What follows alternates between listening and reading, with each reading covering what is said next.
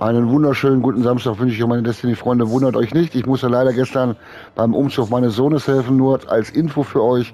Und jetzt geht's mit Xur weiter. Xur befindet sich auf dem Rift.